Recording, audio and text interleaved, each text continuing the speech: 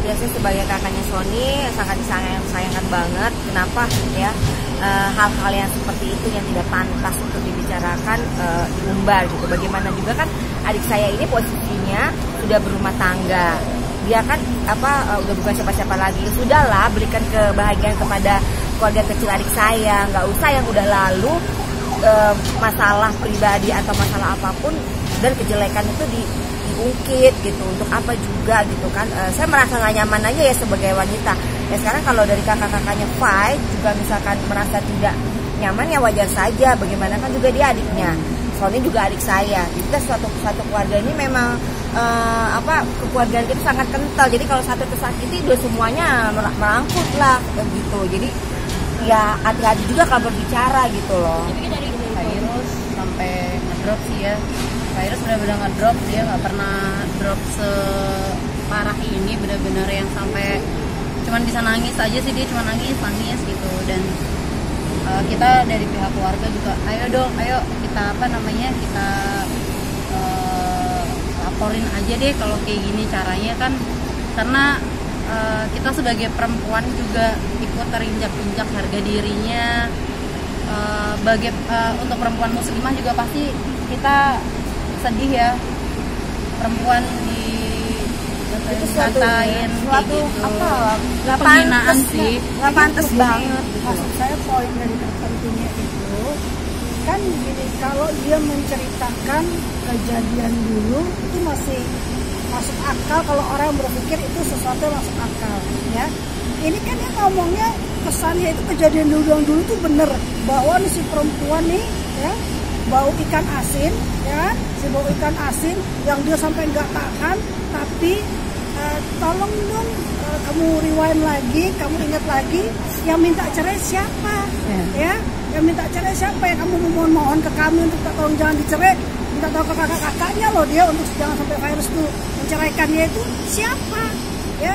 Terus udah gitu dia ngomong begini ini eh, apa sa- sampai saya bawa ke dokter spesialis dikelok ya dikelok kan bilang gitu dikelok ya. Eh, se- satu sendok. Dikelok satu sendok itu lu nyendokin apa? Nyendokin cendol ya kan? Karena kalau dok kandungan nggak ada pakai sendok. Menandakan banget sih kamu nggak pernah ke dokter spesialis.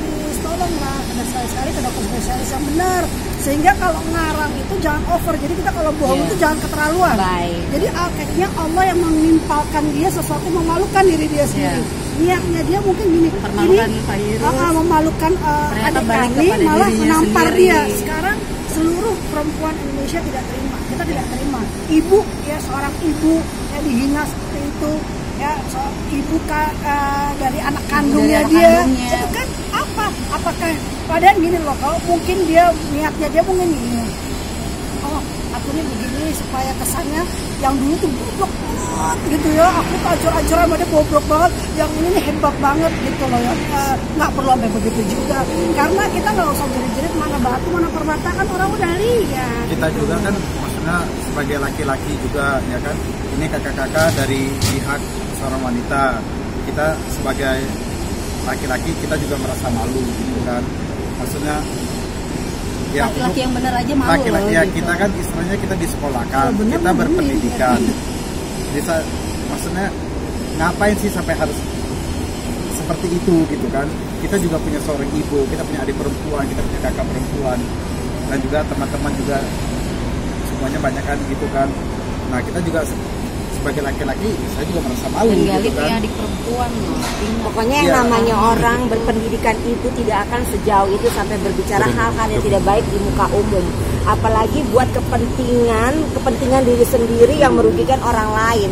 Sekarang bukannya masalahnya di virus aja ya, maksudnya malu dengan seperti ini. Semua perempuan Indonesia kalau Iya. dimaluin hal seperti sakit itu juga pasti akan marah. benar. Saya pun ya kalau misalkan punya suami seperti itu membicarakan eh, masalah diranjang itu bukan saya bukan saya laporin dulu ke polisi, saya tonjok dulu kalau saya mah, ya terserah. orang yang suka suka ribut gitu sebenarnya. Kita kaget kok banyak SMS yang masuk banyak apa Ini udah lihat dan itu Iya, tiba-tiba virus gitu kan. tiba-tiba nggak ada Kan hujan nggak ada gitu. angin nggak ada pemicu nggak ada api Nggak ada angin, sedikit nggak ada apa, gitu kan. tiba-tiba tiba-tiba jedeng itu. begitu kan virus kan dan mengarangnya yang gitu ya. luar biasa banget saya nggak tahu apa yang harus dibangun dari yang barunya kan saya nggak paham ini sampai dia harus gede-gedean ini jatuh ini ini ya nggak paham katanya udah operasi 8 m ya kan iya nah, udah mati itu mungkin em, itu mungkin duit pas lagi operasi mungkin pas lagi mati lampu.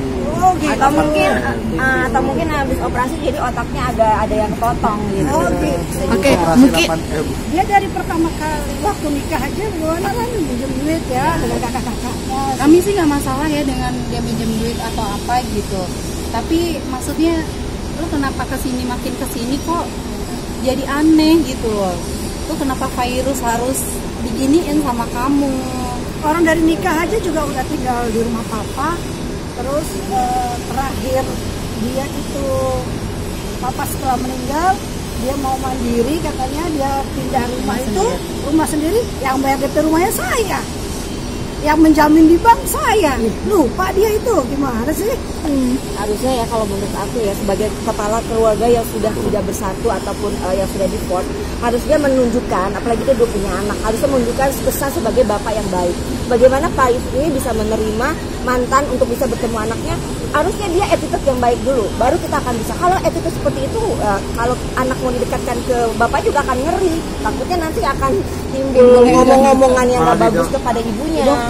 malah Didoktrin, didoktrin yang nggak doktrin. bagus. Ininya aja udah seperti ini hal yang seperti ini. Apalagi sampai dikenalkan lah mending jangan ya berabe kalau saya jadi begini kalau masalah mengasih nafkah sih mungkin kalau dia ada dia mungkin kasih. Tapi dengan uang yang mungkin dia cuma ya nggak banyak kan nggak bisa mengcover biaya hidup semua. Jadi kita semua keluarganya virus itu selalu turun. Mengcover semua sampai ya istilahnya sisternya lah apanya kalau apanya. semenjak cerai ya yang enggak ya? Semenjak cerai malah kan masih tinggal di situ tadinya. Saya yang nggak boleh boleh ditanya ke virus virus nggak pantas itu Gali kok masih tinggal di situ. Kan saya bukan di pendepanan jadi saya lihat kok jangan tinggal di situ nanti apa? kata orang. Jadi belum punya rumah kan dia bingung mau ke mana? Gitu. Kayaknya masih baik tuh? Ba- ba- baik harus tuh baik banget sama dia. Dan terus eh, waktu setelah cerai itu dia masih baik kok. Dia suka eh, kadang-kadang jemput pas sekolah suka nganter pas Iya, iya. sekolah ya. Pas udah kasih di sini mungkin dekat sama apa saya juga nggak paham jadi berubah. Luar biasa